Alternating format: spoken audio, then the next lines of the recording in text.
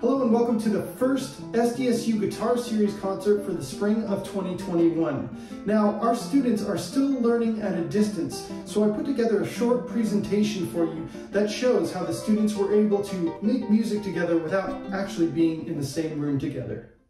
This semester, the SDSU Guitar Ensemble used a combination of a traditional online course setup through Canvas, along with regular Zoom meetings and the use of BandLab to record music while maintaining a collaborative approach. The sheet music, along with the contextual information, was disseminated through the use of Canvas by me.